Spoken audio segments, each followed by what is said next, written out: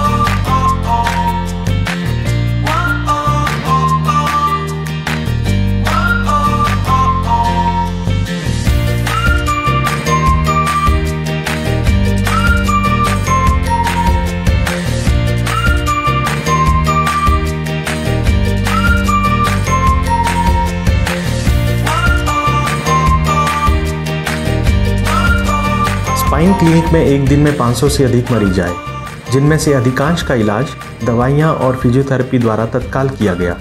इनमें से बावन मरीज़ ऐसे चिन्हित किए गए, जिनका एमआरआई टेस्ट भी करवाया जाएगा, ताकि पूर्णतः ये सुनिश्चित किया जा सके कि केवल सर्जरी द्वारा ही इनका इलाज संभव है। नौ मरीजों को सर्जरी के लिए पहले ही चिन्हित किया जा चुका है। सभी सर्जरी स्पाइन फाउंडेशन के विश्व प्रसिद्ध डॉक्टर भोजराज जी के नेतृत्व में the Hans foundation general hospital Satpuli में की जाएगी। सर्जरी के उपरांत सभी मरीज़ एक बेहतर और स्वस्थ जीवन यापन कर पाएँगे।